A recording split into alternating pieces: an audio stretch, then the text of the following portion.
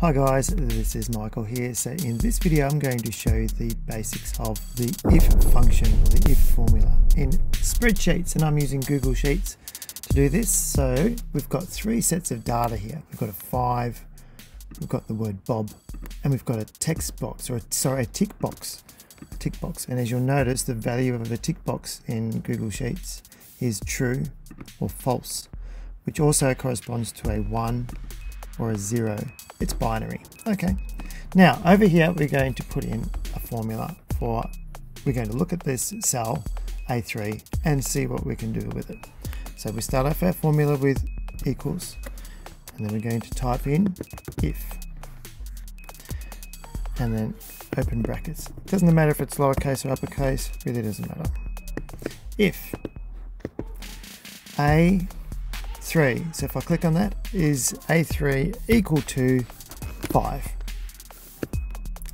We put a comma, and then anything after the comma is what will be the value in this cell if this little test is true. This is called a logical test. It's telling us that that's true, but what are we going to do if this little test is true? A3 equals 5. We're going to, we could do a, another formula we could do a, a sum, we could just write something or put in another value. For this one, I'm just going to put a word. Um, this, oops, this is a 5. Close uh, quotation marks. So we're going to put in a string of letters. Put a comma. And if this is not a 5, if A3 is not 5, then we're going to go, this is not a And then close brackets. Let's hit enter, see what happens. This is a 5. Let's change this to something else. This is not a 5. See how it's changing automatically. 5. Not a 5. What if I type in the word 5? Well, it's not a numeral 5. We're kind of tricking it a bit. But it's looking for, is this cell the value of 5? And that's how we do it. Now, let's do another example. We've got Bob.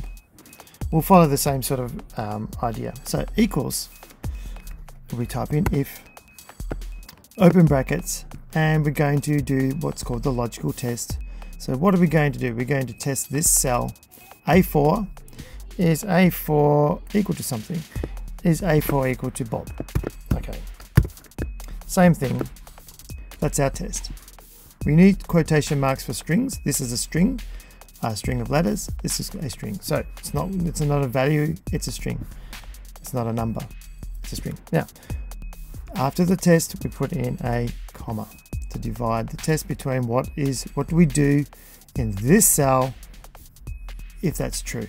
If that's true, we can say hi Bob. Whoops, quotation marks around that because we're using a string. Hi Bob. Put a comma, whatever comes after the comma now, what do we do if it's not true, if that's not Bob? Let's say another string, who are you? Okay, close quotation marks, close brackets, parentheses, and let's hit enter. Hi Bob. Let's change it to Bill. Who are you? Bob. Hi Bob. What if we change it to lowercase? No, it still recognizes lowercase. still recognizes that string as Bob, even though it's lowercase. One more example. Tick box. True, false, true, false. Remember, if we tick it, it means this value is true. If we don't tick it, this is false. So for this one, we're going to go equals if, open bracket, um, we're going to, the test is what is this cell? Uh, is this equal to true? Comma. And if it's true, we're going to put another string and we'll say ticked. Ticked. And if it's not true, so put a comma. If this test is not true, then we're going to put not ticked. Close brackets. Not ticked. Ticked, not ticked, ticked, not ticked. Interesting.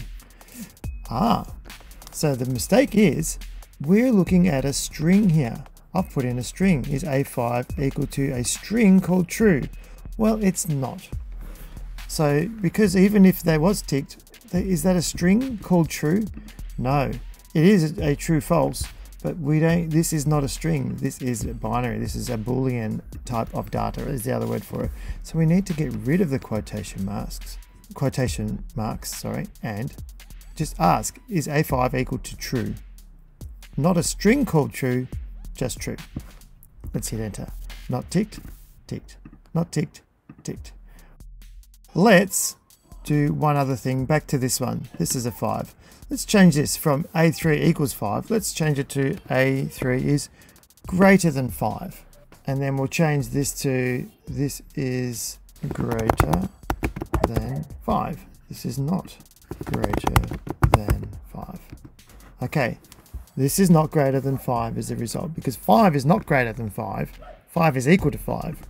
What if I, what if I put 5.1? Is that greater than 5? Yes. What if I put uh, 5.00001? Still greater than 5. What if we put in a 4? No, it's not greater than 5. 5 is not greater than 5. 6 is greater than 5.